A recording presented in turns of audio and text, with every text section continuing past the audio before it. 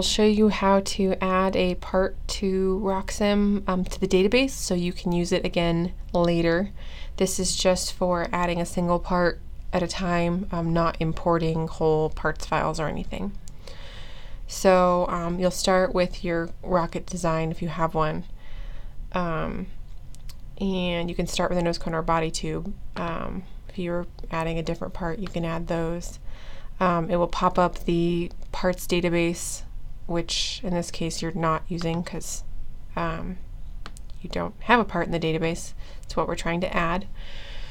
So you'll open the generic part window and then go in and change your settings. Um, so you'll type in the parameters of your um,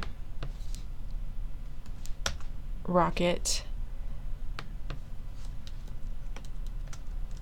that you have. Um, you can pull this from the um, manufacturer's website, possibly.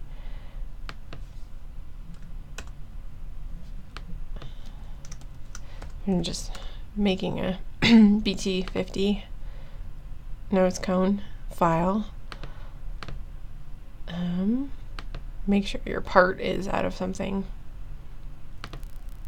not custom.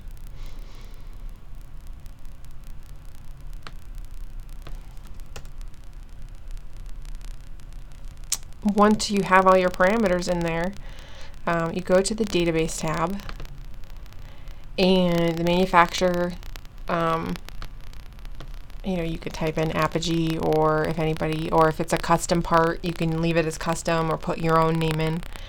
Um, part number, give it a part number, 24Z.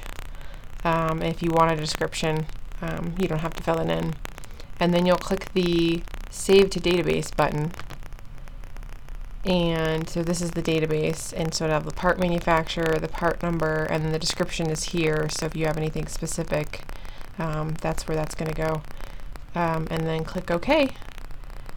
And it should add it to the database there. Just didn't click OK hard enough. And so next time, if you do a new design,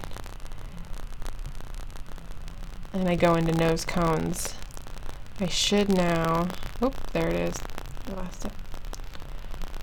Um, it, the PNC24Z that I created, it's now in the database and you can use it for all your other designs.